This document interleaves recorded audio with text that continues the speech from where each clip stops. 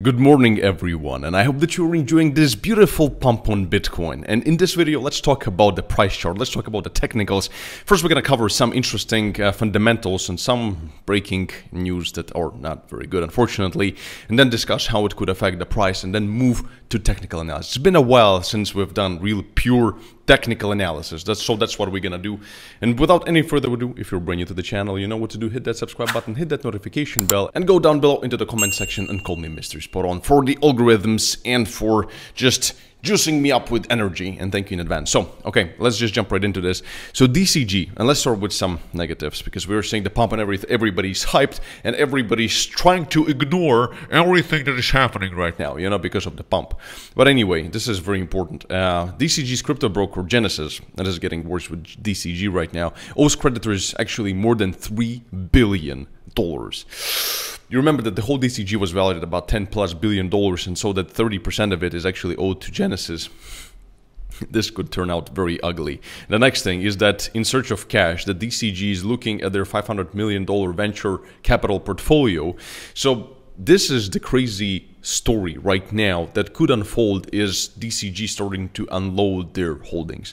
And if they're going to get to grayscale and dumping some of the altcoins, obviously they're going to start with altcoins. And then if they're going to get to their 600 what, 50,000 Bitcoin, that could additionally add on to the selling pressure. But hopefully it's not going to get there, but it seems like they're moving towards liquidating their assets. So that's quite painful and guys, you cannot ignore this.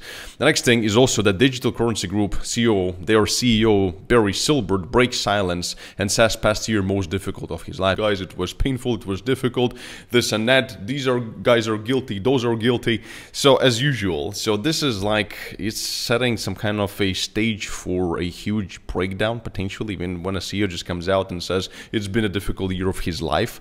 I mean, you can imagine what this could potentially mean, right? I mean, this is very far from actually finding a damn solution. The next thing, uh, last before we move to the short, and that is that the crypto firm Genesis and Gemini are currently charged by SEC. Uh, uh, with selling unregistered securities. So, if all of this wasn't enough, uh, the SEC is actually going after them. Gary Gensler is like a damn half stupid shark who is just jumping into the blood. You know, wherever there is blood and somebody to go after, he's just going after them just to make sure to kill them, to put that last nail in the coffin. So this whole situation, guys, if it all boils down to something that we could potentially see, and that is, you know, selling off of their assets, this could just simply add on to the extra selling pressure, and therefore we could see, you know, big suppression in Bitcoin price.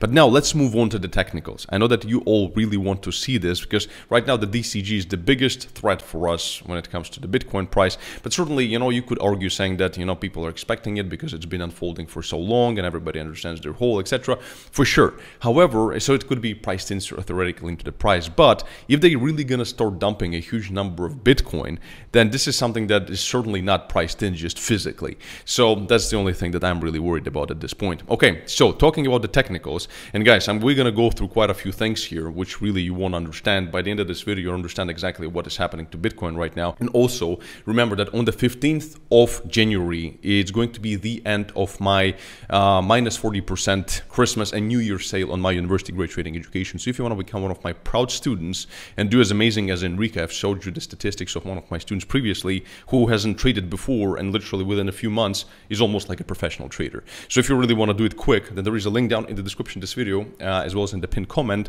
to a 40% discount on my famous certified and fully accredited trading learning programs, which is extremely rare. Mostly people just say you sell you a shit course which is like for two weeks or something and then it's completely incomplete. So in my case it's a five months long certified and accredited trading learning program where you literally learn everything. So that's why it's called university. Great because it's literally like a university.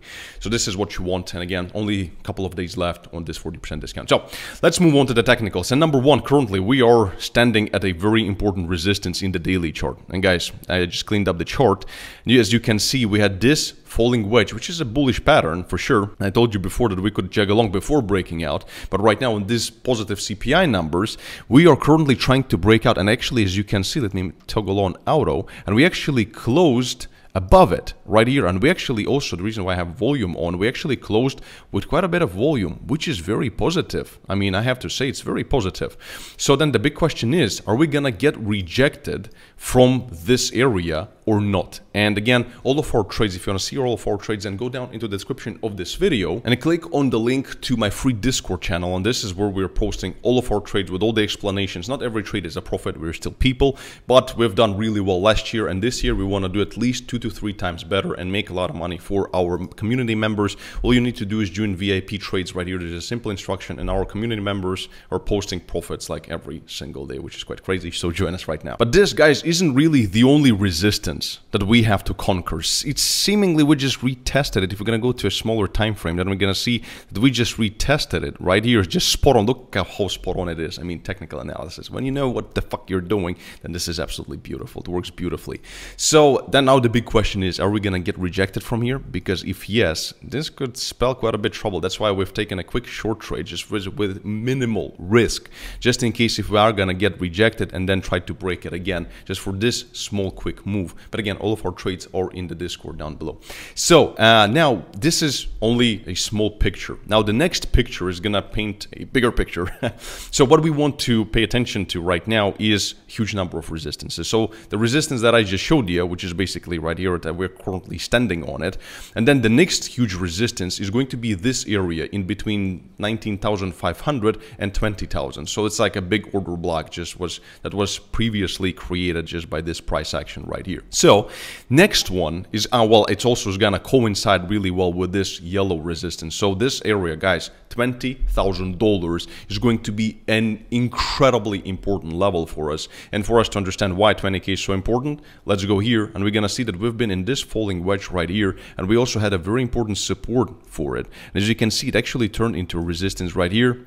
Well, it's not perfect, but almost right here as well. Well, it's quite far away, but nonetheless. So it still is going to be, I believe, very, very strong and very historical and very relevant. So 20K, and this is where, you know, it's just coming in as very strong resistance right here. And then the next one, if we pass it, then possibly 22,500, the next area, and 25,000. And certainly it's going to coincide with the most important resistance, in my opinion, which is going to be at about 20,500. And this resistance, guys, is just basically this trend line i mean this downward slope this resistance. Because if we actually break it then we actually that's going to open up the door to something like 30 plus k in my personal humble opinion. But before we get too excited we have to remember everything i mentioned about the dcg right? So also another huge resistance that is coming in for us um, is going to be the weekly ema ribbon that we need to cover and that's pretty much the whole area.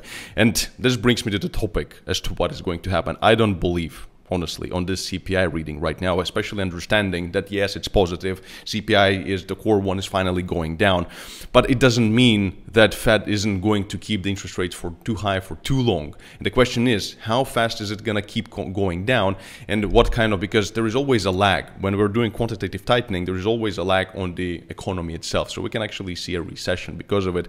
Therefore, just because of this CPI just punching through all of this resistance is just ridiculous in my opinion. So right now now, we certainly punched through the daily EMA ribbon, which has historically been quite bullish, as we can see, like, for example, we pushed through it here, and then we also, when we had the Chinese FUD, we actually pushed through it here, and then it led into the continuation, the bull market.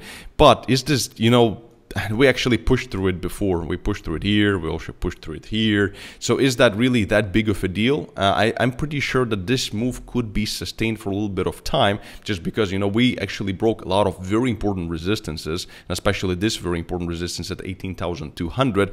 But nonetheless, we still have so many even bigger resistances coming in, and the macro factors are simply not helping us at this point, like at all. Nothing has changed except for positive CPI, which could be just short-term hopium So therefore, let's go and quickly take a look at Dixie, which also is going to give us some hopium because yesterday on this CPI, Dixie has dropped significantly. And, you know, it's starting to look really nice, quite frankly. And every time when we saw a huge reversal in Dixie, it was very bullish for any other asset, any other currency, including Bitcoin.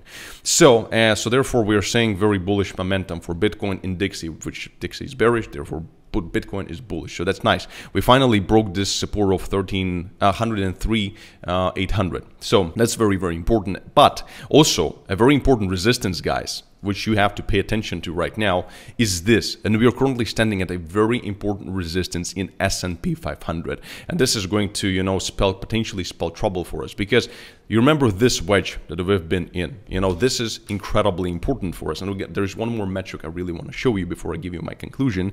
And that is you remember this whole wedge? And right now we actually had this kind of a you know bottom bottom you know, you could call it a cup with a handle. And potentially, you know, if we actually gonna break this resistance at about 4,000 points right here, then it could actually give us a very nice bullish target. I mean, I, am not going to even measure it. It's something pretty crazy, something like, you know, 4,600. So, you know, the bull market could theoretically, people start screaming bull market is back. So this is very important resistance for us, which is going to be followed by 41.25. But I wouldn't worry too much about this. What I really want to see is the break above with huge volume potential retest in S&P 500. And then, you know, the confirmation of this whole pattern, even though I don't like patterns. But in this instance, on this CPI, this could be a short-term relief that we could see see and this would actually very well coincide with let me find it so this right here and this is the bitcoin short. and right now as you can see into this cpi also yesterday we had a huge drop in bitcoin shorts so a lot of short traders are actually getting liquidated right now